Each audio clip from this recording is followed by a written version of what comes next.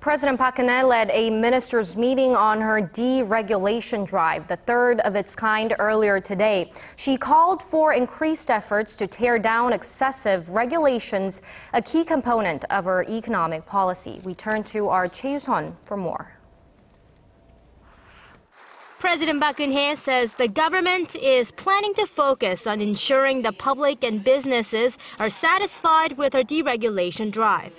우리가 규제에 묶여 있는 동안 다른 경쟁국들은 발빠르게 움직이고 있습니다. 이제 우리도 경제 회복과 청년 일자리 창출을 위해서 보다 과감한 규제 개혁에 나서야 하겠습니다.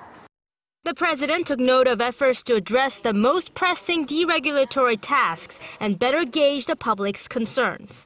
However, she also urged officials to tailor the proposed reforms to more effectively benefit the related parties and said Korea's regulatory system should be revised to meet global standards. She added that while alternatives to regulation should be considered, new regulations need to maximize the private sector's autonomy. This year, the government announced a series of new reform measures. For the first time in more than 40 years, the government will ease regulations on greenbelt management initially implemented to prevent urban overpopulation and to preserve the environment. The Land Ministry says it will allow the construction of facilities to manufacture and sell indigenous products on greenbelts to boost the income of area residents. Restrictions on restaurant and housing construction will also be eased.